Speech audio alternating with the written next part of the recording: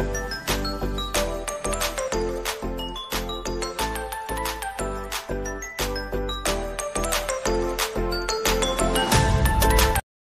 વિદ્યાર્થી મિત્રો muse YouTube ચેનલમાં આપનું ફરીથી સ્વાગત કરું છું. વિદ્યાર્થી મિત્રો, આના પહેલાંના લેક્ચરમાં આપણે બહુ નાનો ટોપિક જન્યુઓ જનનની ક્રિયા રહી એનો મતલબ રહી એની વાત થઈ ગઈ હતી. બરાબર? જન્યુ જનનની ક્રિયા એટલે શું? એ આપણે વ્યવસ્થિત સમજી લીધું હતું.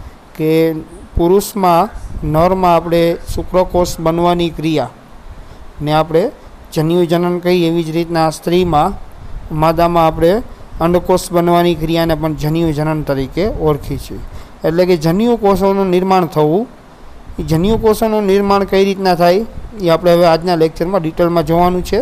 એમાં સૌપ્રથમ આજના લેક્ચરમાં આપણે શુક્રકોષ જનનની ક્રિયા વિશે માહિતી મેળવશું કે શુક્રકોષનું નિર્માણ કઈ રીતના થાય, નરમાં, પુરુષમાં, અને ત્યારબાદ આપણે નેક્સ્ટ લેક્ચરમાં અંડકોષ જનન વિશે માહિતી મેળવશું. અહીં આપણો પ્રશ્ન છે, શુક્રકોષ જનનની પ્રક્રિયા આકૃતિ સહિત જણાવો. વિદ્યાર્થી મિત્રો, આની આકૃતિ રહી, એ બીજા પ્રશ્નમાં આપેલી છે. એનો ચાર્ટ સ્વરૂપની બે આકૃતિ આવે, આમાં શુક્રકોષ જનનની ક્રિયામાં બે આકૃતિ આવશે. એમાં એક આકૃતિ રહી આપણે શુક્રપિંડના છેદવાળી એ આપણે આ જ પ્રશ્નમાં જોઈશું. અને બીજી આકૃતિ જે છે એ આકૃતિ આપણે ચાર સ્વરૂપે હશે કે એમાં શુક્રકોષનું નિર્માણ, વન બાય વન કોષનું વિભાજન થઈને, અર્ધીકરણ થઈને શુક્રકોષનું નિર્માણ કઈ રીતના થાય એ આકૃતિ આપણે સાથે જ મૂકશું. તમે જોતા જાજો. બરાબર? તો વિદ્યાર્થી મિત્રો, હવે જોઈએ આપણે આગળ. શુક્રપિંડમાં અરિ, અપરિપક્વ, શુક્રપિંડમાં અપરિપક્વ નરજનન કોષો. શુક્રકોષ એ શુક્રકોષ જનન દ્વારા શુક્રકોષ ઉત્પન્ન કરે છે. શુક્રપિંડમાં વિદ્યાર્થી મિત્રો, પહેલેથીને જ અપરિપક્વ શુક્રકોષો હશે, જે પરિપક્વ નહીં થયા હોય. જેને આપણે આદિ શુક્રકોષો પણ કહીએ છીએ. જે શુક્રપિંડ કહીએ છીએ આપણે ગ્રંથિ છે. શુક્રપિંડની અંદર પહેલેથી જ આદિ શુક્રકોષ અથવા અપરિપક્વ નરજનન કોષો હાજર જ હશે.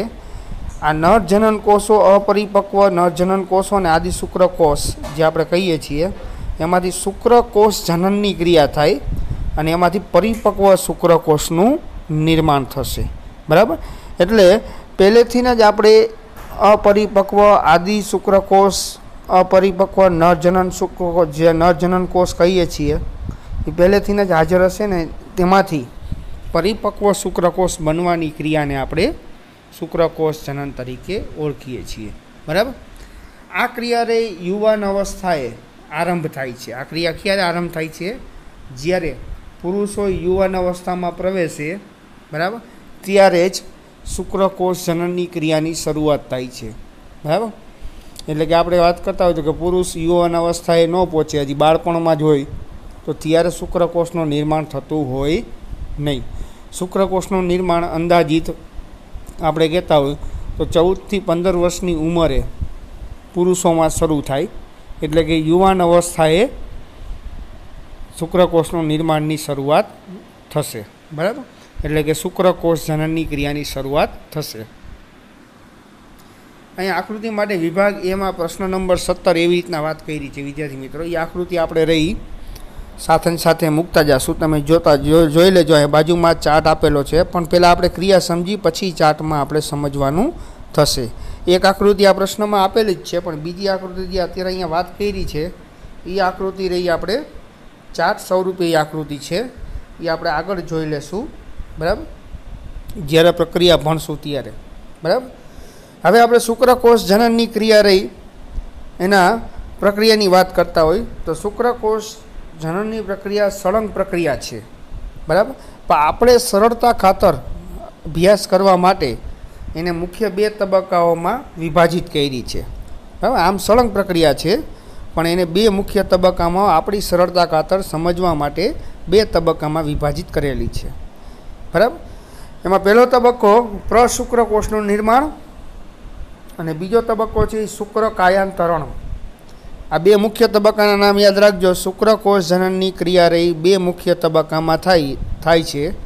પહેલો તબક્કો પ્રશુક્રકોષનું નિર્માણ અને બીજો તબક્કો શુક્ર, કાયાંતરણ. બરાબર? વિદ્યાર્થી મિત્રો, આ પ્રશ્ન આઈએમપી છે. ગુજરાત બોર્ડ અને નીટ માટે, બંને માટે આઈએમપી આપણે પહેલાંના લેક્ચર અને પહેલાંના લેક્ચરમાં આપણે વાત કરી દીધી હતી. આ પ્રશ્ન રહ્યો પૂછાય જ છે સો ટકા. ફૂલ લેન્થ ક્વેશ્ચનમાં ગુજરાત બોર્ડમાં પૂછાય છે અને નીટમાં એમસીક્યુ સ્વરૂપે પણ આમાંથી એમ પ્રશ્નો નીકળે છે.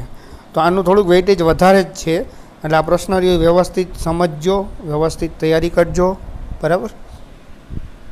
હવે આપણે પહેલા તબક્કાની વાત કરી, વિદ્યાર્થી મિત્રો. પ્રશુક્ર કોષનું નિર્માણ. પ્રશુક્ર કોષનું નિર્માણ આ તબક્કામાં જે અપરિપક્વ નરજનન કોષો હોય અથવા આદિશુક્ર કોષો હોય એનું આગળ જતાં શું થાય આપણે જોઈ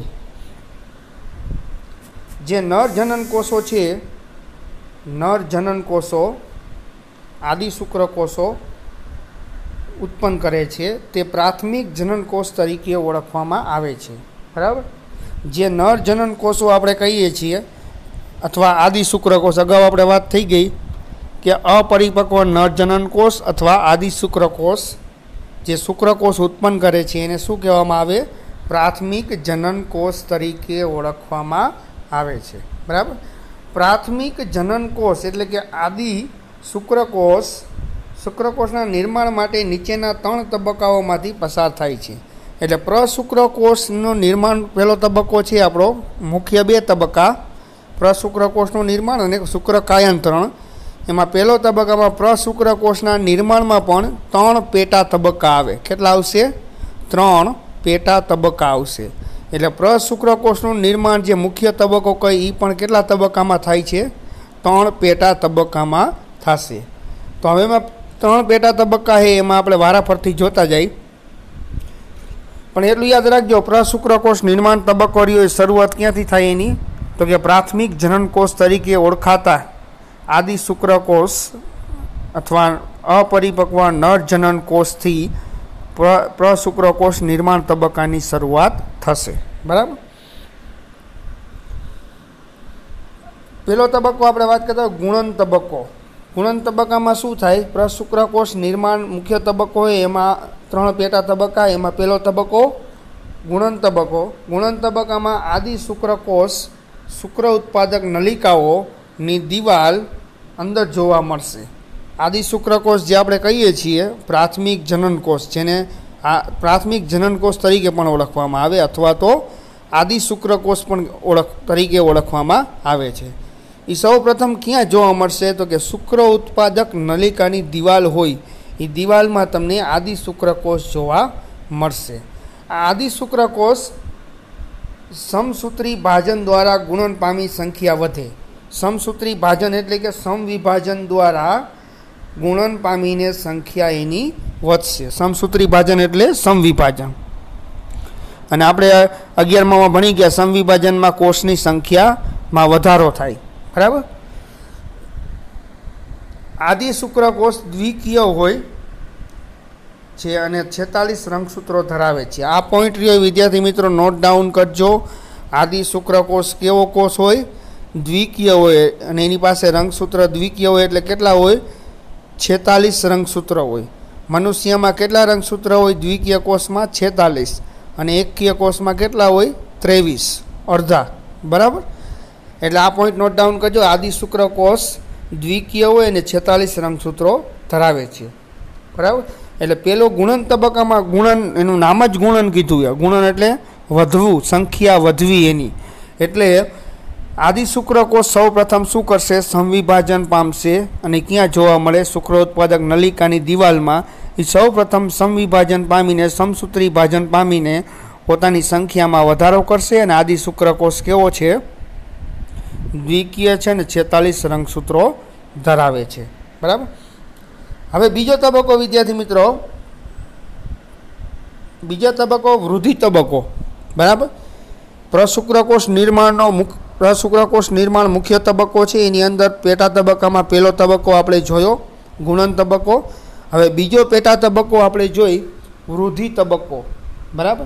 વૃદ્ધિ તબક્કામાં, એના નામ ઉપરથી જ ખબર પડી જાય યાદ રાખવા તબક્કા બહુ સહેલા વિદ્યાર્થી મિત્રો. કેમ કે જે તબક્કાના નામ આપ્યા ને, પેટા તબક્કાના નામ, એ નામને આધારે જ એની અંદર એવી ક્રિયા થાય છે. બરાબર? તો વૃદ્ધિ તબક્કો એટલે કે આ તબક્કામાં આદિ શુક્રકોષ મોટા જથ્થામાં પોષક દ્રવ્યો અને ક્રોમેટિન દ્રવ્ય એકત્રિત કરે. વૃદ્ધિ તબક્કામાં જે આદિ શુક્રકોષરીઓ બરાબર, જે સમવિભાજન દ્વારા એની સંખ્યા વધી છે એ સૌ પ્રથમ શું કરશે ગુણન ગુણન તબક્કા બાદ વૃદ્ધિ તબક્કામાં? તો કે આદિ શુક્રકોષ મોટા જથ્થામાં પોષક દ્રવ્યો ભેગા કરશે અને ક્રોમેટિન દ્રવ્ય એકત્રિત કરશે. ક્રોમેટિન દ્રવ્ય એટલે કે એની અંદર રહેલું ડીએનએ છૂટું છૂટું હશે એ ભેગું થશે. બરાબર? એટલે ક્રોમેટિન દ્રવ્ય એટલે ડીએનએ જે રંગસૂત્ર ઉપર હોય. એ રંગસૂત્ર ઉપર ડીએનએ રહ્યું, બરાબર? એ છોટું છોટું હશે એકદમ. પણ જેવું ગુણન તબક્કામાંથી આદિ શુક્રકોષ વૃદ્ધિ તબક્કામાં પ્રવેશે, એટલે તરત જ આદિ શુક્રકોષનું કદ વધવા માંડે. એનું કારણ કેમ કે એમાં પોષક તત્વો ભેગા થવા માંડે આદિ શુક્રકોષમાં એટલે આદિ શુક્રકોષ મોટા જથ્થામાં પોષક તત્વો ભેગા કરે, બરાબર? અને ક્રોમેટિન દ્રવ્યને એકત્રિત કરે. ક્રોમેટિન દ્રવ્ય એટલે ડીએનએ જે રંગસૂત્ર ઉપર હોય. બરાબર? એ ડીએનએને એકદમ ભેગું કરશે, છૂટું છૂટું હશે તો. બરાબર? એટલે ક્રોમેટિન એટલે ડીએનએ જે રંગસૂત્ર ઉપર આવેલું, આ શબ્દ યાદ રાખજો. આપણા અગિયારમાં પણ આવી ગયો છે. એટલે શુક્રકોષ પોષક દ્રવ્ય ભેગું કરતું હોવાથી આ તબક્કામાં આદિ શુક્રકોષ રહ્યો એની વૃદ્ધિ થશે એટલે કે એનું કદ વધશે. એનું કદ વધતું હોવાથી એને વૃદ્ધિ તબક્કો કહેવામાં આવે કદ કેમ વધે? કેમ કે આદિ શુક્રકોષ આ તબક્કામાં મોટા પ્રમાણમાં પોષક દ્રવ્યો ભેગા કરે છે એટલે એનું કદ રીવી વધે વધે છે. બરાબર? હવે દરેક આદિ શુક્રકોષ પ્રાથમિક પૂર્વ શુક્રકોષ તરીકે ઓળખાય છે. જ્યારે આદિ શુક્રકોષ રીઓ એ વૃદ્ધિ તબક્કામાંથી પસાર થઈ જાય એટલે એનું કદ વધી જશે. અને કદ વધે એટલે હવે એ કયા નામે ઓળખવામાં આવશે? તો કે પ્રાથમિક, પૂર્વ, શુક્રકોષ તરીકે ઓળખવામાં આવશે. હવે એને આપણે આદિ શુક્રકોષ ન કહી શકીએ. આદિ શુક્રકોષ વૃદ્ધિ તબક્કામાંથી પસાર થઈ ગયા બાદ એનું કદ વધી જશે અને કદ વધે એટલે એને પ્રાથમિક, પૂર્વ, શુક્રકોષ તરીકે ઓળખવામાં આવે છે. બરાબર? એટલે પ્રાથમિક, પૂર્વ, શુક્રકોષ જે આપણે કહીએ છીએ, એ પોષણ કેમાંથી મેળવશે? તો કે સરટોલીના કોષો. બરાબર? શુક્રપિંડની દિવાલમાં સરટોલી નામના કોષો આવેલા હશે. એ કોષોનું કાર્ય શું હશે? તો કે પ્રાથમિક પૂર્વ શુક્રકોષને પોષણ આપવાનું. એટલે પ્રાથમિક પૂર્વ શુક્રકોષ પોષણ કોની પાસેથી મેળવશે? સરટોલી નામના કોષમાંથી. બરાબર? અહીંયા વિદ્યાર્થી મિત્રો, આકૃતિ આપેલી છે, એ આપણે જોઈ. બરાબર? અહીંયા આકૃતિમાં આપણે જોઈ શકીએ છીએ કે આદિ શુક્રકોષ સૌ પ્રથમ, બરાબર? આવી રીતના એના તબક્કા જ આપેલા આમ, બરાબર? પરિપક્વ થતા જાય એ રીતના તબક્કા આપેલા છે. આદિ શુક્રકોષ સરટોલીના કોષો એની દિવાલમાં વચ્ચે આવેલા હોય. આદિ શુક્રકોષ આગળ જતા ગુણન તબક્કો અને વૃદ્ધિ તબક્કામાંથી પસાર થાય એટલે એનું રૂપાંતર કેમાં થઈ જાય? પ્રાથમિક પૂર્વ શુક્રકોષમાંથી બરાબર? એટલે આદિ શુક્રકોષનું રૂપાંતર ગુણન તબક્કા બાદ પ્રાથમિક પૂર્વ શુક્રકોષમાં થઈ જશે. બરાબર? હવે અહીંયાથી આગળ વધી, વિદ્યાર્થી મિત્રો, આપણે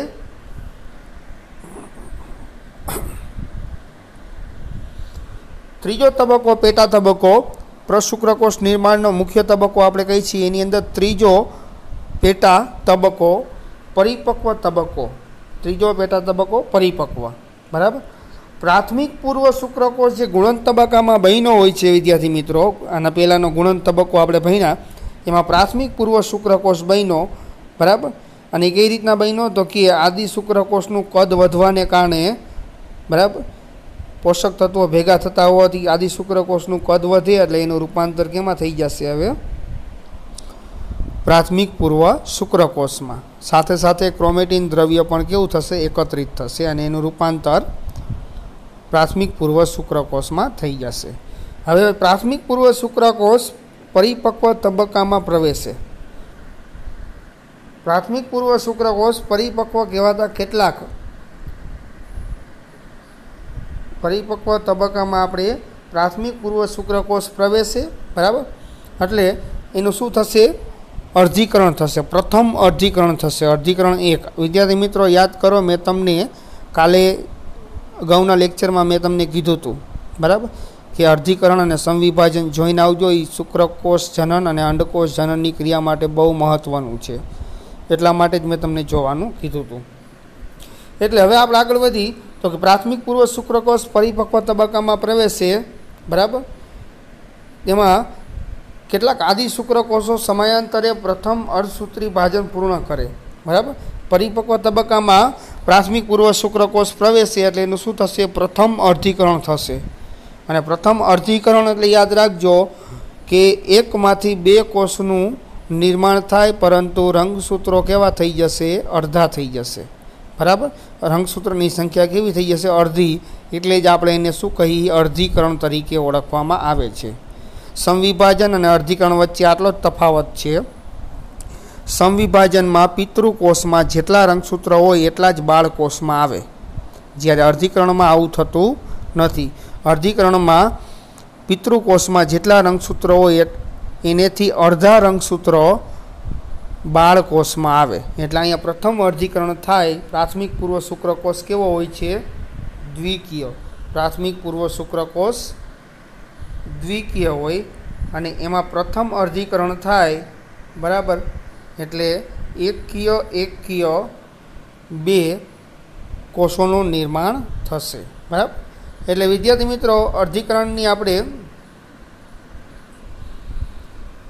પ્રથમ અર્ધીકરણ પૂરું થાય એટલે બે સમાન એકકીય બે સમાન એકકીય કોષોનું નિર્માણ થશે, જેને શું કહેવામાં આવે? દ્વિતીય પૂર્વ શુક્રકોષ કહે છે અને દરેક ફક્ત ત્રેવીસ રંગસૂત્રો ધરાવે છે. બરાબર?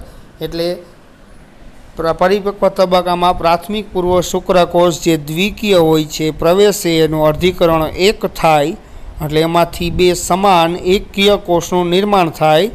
અને એકકીય કોષ એટલા માટે કહેવામાં આવે કેમ કે પ્રાથમિક પૂર્વ શુક્રકોષ પાસે છેતાલીસ રંગસૂત્રો હોય છે. અને એનું અર્ધીકરણ થાય એટલે એમાંથી બે એકકીય કોષ બને, બંને કોષને કેટલા કેટલા રંગસૂત્ર મળે? ત્રેવીસ ત્રેવીસ રંગસૂત્ર મળે, એટલે કે જેટલા રંગસૂત્રો હતા એનાથી કેટલા થઈ ગયા? અડધા થઈ ગયા. બરાબર? આ હજી આપણે અર્ધીકરણ એક જ થયું છે. અર્ધીકરણ બે થશે એટલે આપણે આગળ જોઈએ હવે. દ્વિતીય પૂર્વ શુક્રકોષ દ્વિતીય પૂર્વ શુક્રકોષો બરાબર? દ્વિતીય પૂર્વ શુક્રકોષ કોને કહેવાય? કે પરિપક્વ તબક્કામાં અર્ધીકરણ એક પૂરું થઈ જાય. બરાબર? પછી પ્રાથમિક પૂર્વ શુક્રકોષ કેમાં રૂપાંતર પામી જાય દ્વિતીય પૂર્વ શુક્રકોષમાં બરાબર? એટલે દ્વિતીય પૂર્વ શુક્રકોષો દ્વિતીય અર્ધસૂત્રી ભાજનમાં પ્રવેશે. દ્વિતીય પૂર્વ શુક્રકોષ જ્યાં અહીંયા બન્યા, બરાબર? હવે એનું શું થશે? અર્ધીકરણ બે થશે. અર્ધીકરણ એક તો થઈ ગયું, એના દ્વારા દ્વિતીય પૂર્વ શુક્રકોષ બન્યા. હવે દ્વિતીય પૂર્વ શુક્રકોષ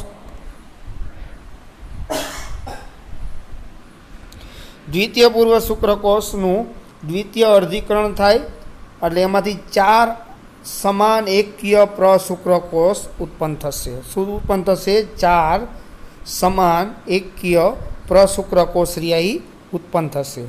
એટલે પરિપક્વ તબક્કામાં અર્ધીકરણ એક થયું અને એ અર્ધીકરણ એકમાં પ્રાથમિક પૂર્વ શુક્રકોષમાંથી બે સમાન એકકીય કોષોનું નિર્માણ થયું આ બે સમાન એકીય કોષોને શું કહેવામાં આવે? દ્વિતીય પૂર્વ શુક્રકોષ આ બે અસ, જે સમાન બે સમાન એકીય કોષો બન્યા, એ બે બે કેમાં જશે? અર્ધીકરણ બેમાં. એ અર્ધીકરણ બેમાં જાય, એટલે એમ બેમાંથી કેટલા બનશે પાછા? અર્ધીકરણ બેમાં ચાર બનશે, એટલે ચાર સમાન એકીય પ્રશુક્રકોષ ઉત્પન્ન થશે. બરાબર? હમણાં આપણે આને ચાર્ટ ઉપરથી વધારે ડિટેલમાં સમજીએ. બરાબર? એના પછી આપણે બીજો મુખ્ય તબક્કો, અહીંયા આપણે પહેલો તબક્કો એ પૂરો થઈ ગયો, જે પ્રશુક્રકોષનું નિર્માણ. આપણો પ્રશુક્રકોષ ચાર બની ગયા, બરાબર? એટલે પહેલો તબક્કો મુખ્ય હતો એ આપણો પૂરો થઈ ગયો. હવે આપણે બીજો તબક્કો જોઈ, તો બીજા તબક્કાનું નામ શું હતું? બીજો મુખ્ય તબક્કો શુક્ર કાયાંતરણ બરાબર? શુક્ર કાયાંતરણ કોને કહેવાય? પ્રશુક્રકોષો બન્યા, હજી પરિપક્વ પૂરેપૂરા શુક્રકોષ નથી બન્યા કે જે શુક્રકોષ સંતતિનું નિર્માણ કરી શકે એવા પરિપક્વ હજી બન્યા નથી. જે આદિ શુક્રકોષ પ્રશુક્ર આદિ શુક્રકોષમાંથી પ્રશુક્રકોષ બને છે એ પ્રશુક્રકોષ હજી ક્યાં જશે? બીજો મુખ્ય તબક્કો શુક્ર કાયાંતરણ. એમાં પ્રવેશે અને એમાં એનું હજી બાહ્ય રચનામાં ફેરફાર થશે, ત્યારબાદ એ પરિપક્વ બનશે. શુક્ર કાયાંતરણ. પ્રશુક્રકોષ બન્યા, એની કાયા કાયા એટલે એનો દેહ. બરાબર? એના દેહનું રૂપાંતરણ. એટલે એને શું કહેવામાં આવે? શુક્ર કાયાંતરણ. બરાબર? કાયાનો મતલબ થાય દેહ. એટલે પ્રશુક્ર કોષ જે બન્યા, એનો દેહનું રૂપાંતરણ થવું એટલે શુક્ર કાયાંતરણ. પ્રશુક્ર કોષ ચારે ચાર બન્યા છે, વિદ્યાર્થી મિત્રો. એ આગળ હવે ક્યાં જશે? તો કે બીજા નંબરનો મુખ્ય તબક્કો શુક્ર કાયાંતરણમાં પ્રવેશે. બરાબર? પ્રશુક્રકોષનું શુક્રકોષમાં. પ્રશુક્રકોષનું હવે કેમાં રૂપાંતર થશે? શુક્ર કાયાંતરણમાં પરિપક્વ શુક્રકોષમાં. બરાબર? એટલે પ્રશુક્રકોષનું શુક્રકોષમાં રૂપાંતર થવાની ક્રિયાને શું કહેવામાં આવે? શુક્ર કાયાંતરણ કહેવામાં આવે છે. એટલે બીજા મુખ્ય તબક્કો જે આપણે કહીએ છીએ, બરાબર? શુક્ર કાયાંતરણમાં, એમાં કમ્પ્લીટ પરિપક્વ શુક્રકોષ બનશે જે ફલન કરવા માટે સક્ષમ હોય જે અંડકોષનું ફલન કરી શકે. બરાબર? એટલે પ્રશુક્રકોષ એ હજી પરિપક્વ નથી. પ્રશુક્રકોષ બીજો મુખ્ય તબક્કો શુક્ર કાયંત્રણમાંથી પસાર થાય ત્યારે જ પરિપક્વ બને. બરાબર? એટલે એ પહેલો મુખ્ય તબક્કો પ્રશુક્રકોષનું નિર્માણ. બરાબર? પહેલો મુખ્ય તબક્કો એ હતો આપણો. એમાં અંત ભાગમાં પ્રશુક્રકોષો બન્યા જે બીજા મુખ્ય તબક્કામાં પ્રવેશીને એનું કાયાનું રૂપાંતરણ થશે એટલે શુક્ર કોષના દેહ બદલાશે, બરાબર? અને ત્યારબાદ એ પરિપક્વ બનશે. શુક્રકોષનું શીર્ષ સરટોલીના કોષોમાં અંતસ્થાપિત થાય. શુક્રકોષનું જે શીર્ષ રહ્યું એ સરટોલીના કોષ આપણે અગાઉ વાત કરી ને એ શુક્રકોષનું શીર્ષ સરટોલીના કોષમાં અંદર પ્રવેશે એટલે કે અંતસ્થાપિત થાય અને અંતે શુક્ર ઉત્પાદક નલિકાઓમાંથી મુક્ત થાય. આ પ્રક્રિયાને શું કહેવામાં આવે? શુક્રકોષ મુક્ત થવાની ક્રિયા અથવા સ્પર્મિએશન તરીકે ઓળખવામાં આવે છે. બરાબર? આ ક્રિયા આપણે પરિ, શુક્ર કાયંત્રણની જે ક્રિયા રહી, બરાબર એ ક્રિયામાં ખરેખર થાય શું? તો કે શુક્રકોષ હોય, એનું શીર્ષ હોય શુક્રકોષનું એ સરટોળીના કોષની અંદર પ્રવેશીને એમાં અંત સ્થાપિત થઈ જાય. એટલે કે એની સાથે ભળી જશે. બરાબર? અને અંતે સરટોળીના કોષમાં એનું શીર્ષ ભળી જાય ત્યારબાદ શુક્ર ઉત્પાદક નલિકાઓમાંથી આ જે રચના રહી સરટોળીના કોષની અંદર શુક્રકોષનું શીર્ષ હોય, એ રચના મુક્ત થશે અને આ પ્રક્રિયાને શું કહેવામાં આવે? શુક્રકોષ મુક્ત થવાની પ્રક્રિયા. બરાબર? વિદ્યાર્થી મિત્રો અહીંયા આપણે થોડુંક તમને વધારે ડિટેલમાં કહું, જે ટેક્સ્ટ બુકમાં નથી આપેલું. બરાબર? તો તમને બહુ સિમ્પલ અને સાદું સમજાવતું હોય આપણે વાત કરી, પ્રશુક્રકોષ કેવા હોય? તો કે આવા હશે. પ્રશુક્રકોષ આ ટાઈપના હશે. બરાબર? એનું રૂપાંતર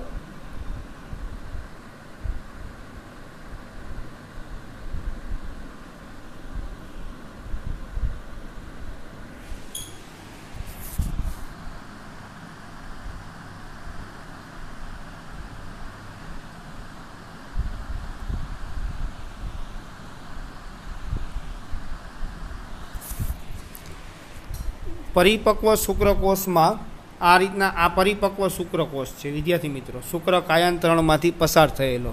એટલે પ્રશુક્રકોષ આવા હશે. એ શુક્ર કાયાંતરણમાંથી પસાર થાય ત્યારે એની પાછળ, જેની શુક્રકોષ હોય એની પાછળ કસા લાગી જશે. આ કસા એની પૂંછડી છે. જે શુક્રકોષ પરિપક્વ હશે એમાં જ તમને કસા રહી જોવા મળશે. બરાબર?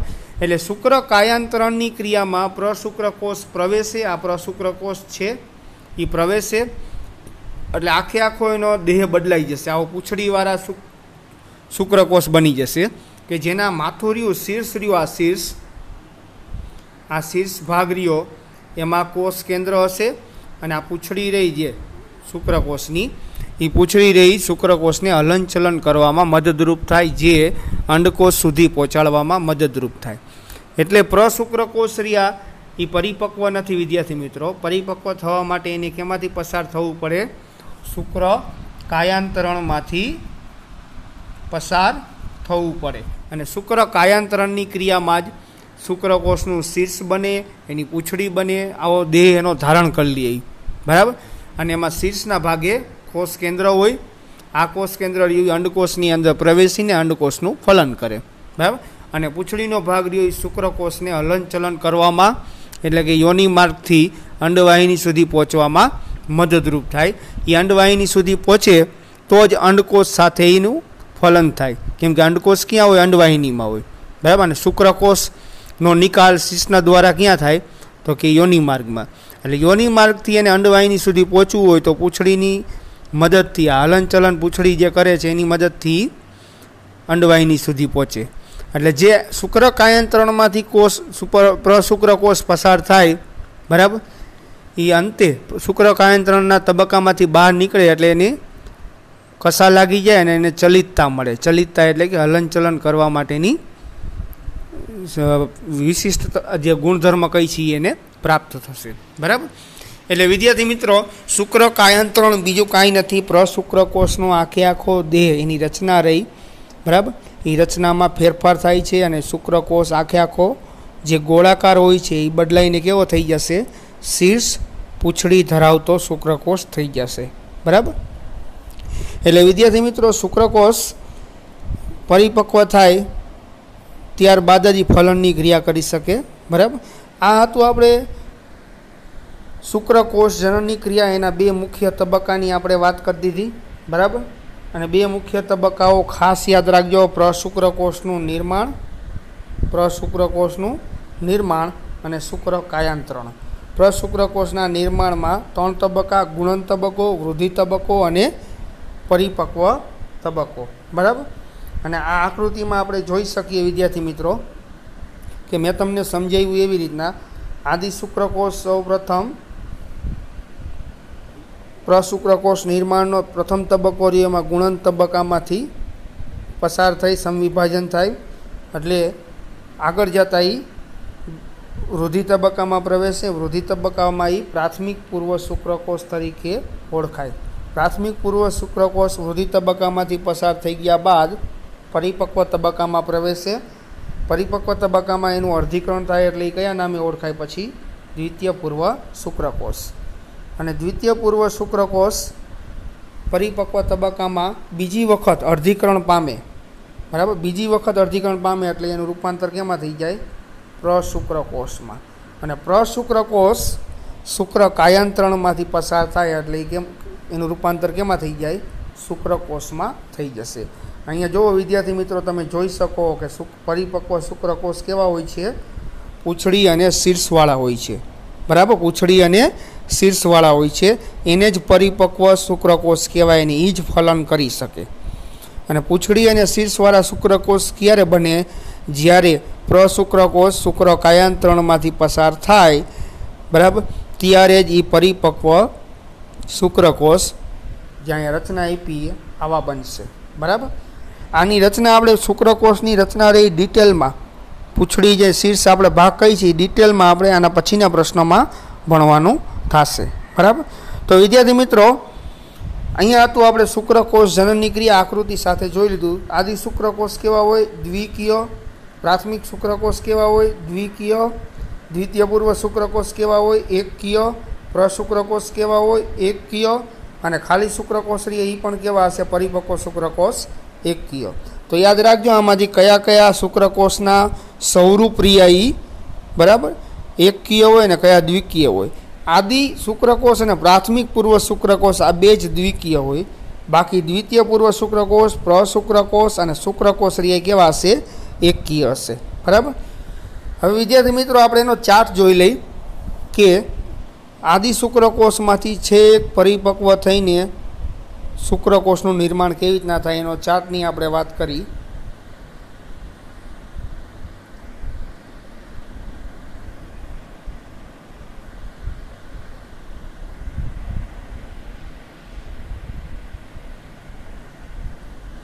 અહીંયા વિદ્યાર્થી મિત્રો આપણે ચાર્ટ જોઈ તો આટલો ચાર્ટ રહ્યો એ શુક્રકોષ જનનની ક્રિયાનો છે. આ ચાર્ટ અત્યારે ન જોતા વિદ્યાર્થી મિત્રો આ રહ્યો અંડકોષ જનનની ક્રિયાનો છે. બરાબર? એટલે આપણે આ જોવાનો છે આજના લેક્ચરમાં આ ચાર્ટ. આ ચાર્ટ શુક્રકોષ જનનની ક્રિયાનો છે. સૌ પ્રથમ આપણે જોઈ, આદિ શુક્રકોષ, એનું પ્રાથમિક પૂર્વ શુક્રકોષમાં રૂપાંતર થાય, બરાબર? અને રંગસૂત્રની સંખ્યા કેટલી હશે? છેતાલીસ જ હશે. બરાબર? આદિ શુક્રકોષમાં પણ કેટલી હશે? છેતાલીસ. સમવિભાજન દ્વારા આદિ શુક્રકોષમાંથી પ્રાથમિક પૂર્વ શુક્રકોષ બનશે. બરાબર? હવે પ્રાથમિક પૂર્વ શુક્રકોષનું શું થશે? પ્રથમ અર્ધીકરણ. એટલે એનું રૂપાંતર કેમાં થઈ જશે? દ્વિતીય પૂર્વ શુક્રકોષમાં.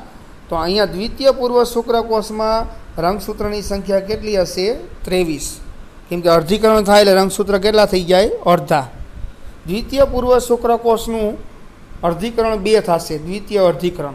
એટલે એમાંથી શું બનશે? પ્રશુક્રકોષ બનશે. પ્રશુક્રકોષ મેં તમને કીધું એવી રીતના ગોળાકાર હશે, બરાબર? અને રંગસૂત્ર ત્રેવીસ જ ધરાવતા હશે. હવે પ્રશુક્રકોષનું આગળ જતાં શું થશે વિદ્યાર્થી મિત્રો? તો કે શુક્રકોષ, પરિપક્વ શુક્રકોષમાં રૂપાંતર થશે. શુક્ર કાયાંતરણ તબક્કા દ્વારા. અને એ કેવા બનશે? શીર્ષ અને પૂંછડીવાળા શુક્રકોષ બની જશે. જે પરિપક્વ શુક્રકોષનું સ્વરૂપ છે, જે અંડકોષનું ફલન કરવા માટે સક્ષમ છે. બરાબર? તો વિદ્યાર્થી મિત્રો આ ચાર ટ્રીઓ તમને શુક્રકોષ જનનની ક્રિયા એક્ઝામમાં પૂછાય, તો આ ચાર ટ્રીઓ તમારે આટલો જ ડ્રો કરવાનો. બરાબર? અને અંડકોષ જનનની ક્રિયાનો ચાર્ટ પૂછાય, તો આટલો ડ્રો કરવાનો તમારે. આટલો અંડકોષ જનનનો છે, જે આપણે હજી ચલાવ્યું નથી નેક્સ્ટ લેક્ચરમાં જોવાના છીએ. બરાબર? તો આ ચાર્ટ પણ દોરવો ફરજિયાત છે વિદ્યાર્થી મિત્રો. આ ચાર્ટ રહ્યો એ બરાબર શુક્રકોષ જનનમાં. અને આના અગાઉની જે આપણે આકૃતિ જોઈ એ પણ દોરવી ફરજિયાત છે. બરાબર? વિદ્યાર્થી મિત્રો અહીં આપણે શુક્રકોષ જનનની ક્રિયા રહી પૂરી થઈ જાય છે. અને હોમવર્કમાં જે દિવસે આ વીડિયો રહ્યો એ આપણો અપલોડ થાય, તે દિવસે આ બંને આકૃતિ ચાર્ટવાળી તમને મેં હમણાં સમજાવી. અને પ્રશ્નમાં આપેલી આ આકૃતિ રહી. એ ફરજિયાત ડ્રો કરવાની છે ત્રણ વખત. અને પ્રશ્ન એ ફરજિયાત ત્રણ વખત લખીને મને જે દિવસે વીડિયો અપલોડ થાય તે દિવસે સાંજ સુધીમાં મને મોકલી આપવાનો થશે હોમવર્ક એનું. બરાબર? અને આ જે પ્રશ્ન એ વિદ્યાર્થી મિત્રો ફરજિયાત બધાએ લખવાનો જ છે. કેમ કે આમાં સો ટકા ગેરંટી કે આ પ્રશ્ન બેમાંથી અંડકોષ જનન અથવા શુક્રકોષ જનન બેમાંથી ફૂલ લેન્થ ક્વેશ્ચન ગુજરાત બોર્ડમાં પૂછાય છે. બરાબર? એટલે તમે એનું વેઇટેજ સમજી શકો. એટલે આ પ્રશ્ન એ વ્યવસ્થિત તૈયારી કરી લેજો. બરાબર? અને એના તબક્કાઓના નામ યાદ રાખજો અને એમાં કયા કયા કોષમાં રૂપાંતર થાય છે એ પણ યાદ રાખજો. બરાબર? આપણા આજના લેક્ચરમાં વિદ્યાર્થી મિત્રો શુક્રકોષ જનનની ક્રિયા જોઈ. એમાં તમને કાંઈ પણ ડાઉટ હોય, કાંઈ પણ ક્વેરી હોય, બરાબર? તો આપણી મ્યુઝ યુટ્યુબ ચેનલમાં પ્રશ્ન પૂછી શકો છો અને વોટ્સઅપમાં પણ પૂછી શકો, હું ચોક્કસપણે એનો જવાબ આપીશ. આ પ્રશ્ન એક્ઝામમાં ફૂલ લેન્થ ક્વેશ્ચનમાં પૂછાય, વિદ્યાર્થી મિત્રો, તો ચાર્ટ અને આ આકૃતિ બંને દોરવાની થશે. બરાબર? કોઈ પણ એક નહીં, બંને, આ શુક્રપિંડના જે છેદવાળી આકૃતિ રહી એ પણ દોરવાની.